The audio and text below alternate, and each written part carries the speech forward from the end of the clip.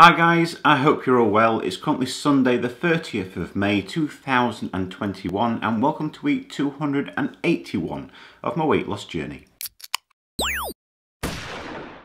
In last week's video we all saw I had another great result by losing 3.5 pounds or 1.6 kilogram which in turn saw my body mass index go from 48.1 down to 47.7.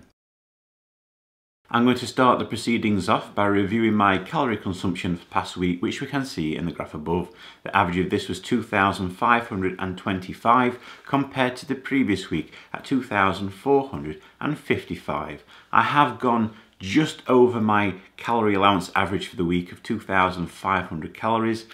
It's not great. The main culprits for it, last Sunday I went just over my 2,700 daily weekend allowance only just. But obviously the thing what sticks out like a sore thumb, of course, is yesterday. On Saturday, I had nearly 4,000 calories.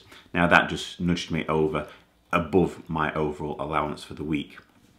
So, food-wise though, just like last week, I've replicated what I had uh, with the foundation of cabbage and broccoli with one of my homemade bolognese sauces with minced beef steak, etc. So I know I showed you the photographs of this last week, but I'll just add them in again, just to refresh one's memory. Um, so those are what I've been, or let's just say, this is what I've been consuming for my main meals Monday to Friday. Now, my fluid consumption has increased from the previous week to 3,551 millilitres, which is above my 3,500 millilitre target. So this is a good result.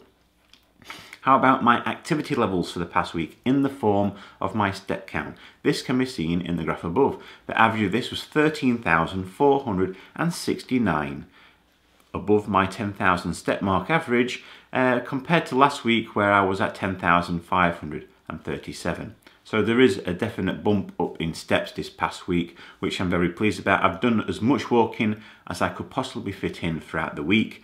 The weather was definitely better this week compared to the previous week.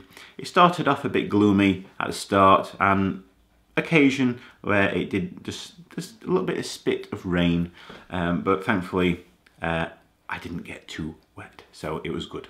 Um, yeah, so hopefully things are going to be good this week. It's that time of the week where we all get to see if I've managed to lose any more weight, so here is guys, here's my weigh-in.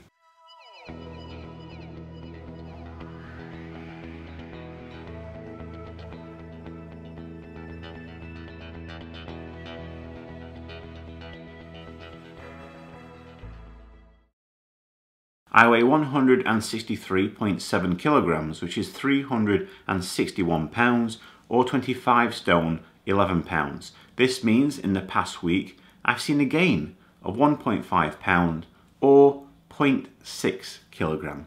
Now, if I compare this result to the result I obtained at Slimming World, you can see this right here. At Slimming World this week, I also saw a gain of 1.5 pound or 0.6 kilogram. So there we have it folks. I wasn't expecting to see this gain result if I'm being perfectly honest. Yes, I've had that blip yesterday, but you've got to understand all of that food that I consume on a Saturday starts after I obtain my weighing result for the week. So the only thing that could possibly affect, or in terms of bad results, obviously it will be last Sunday where I think I went 50 or 60 calories or something like that over my allowance. So that alone cannot account for the 1.5 pound gain.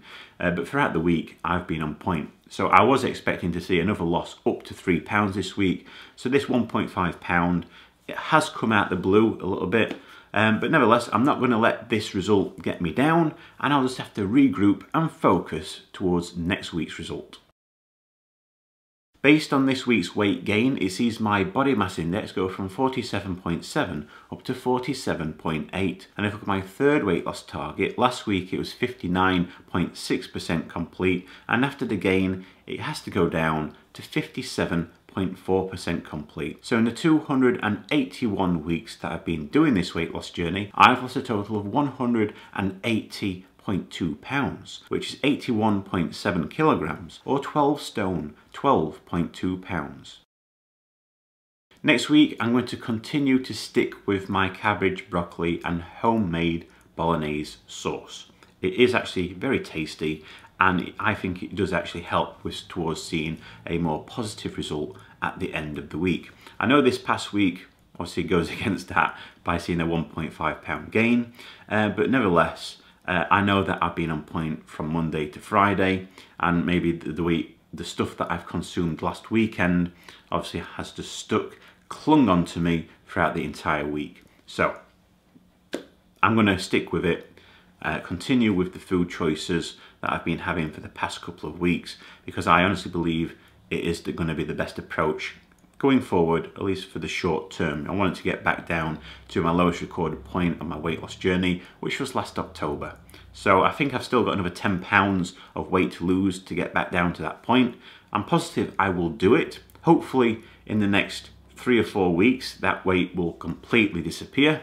And then I can start focusing again on breaking into new ground.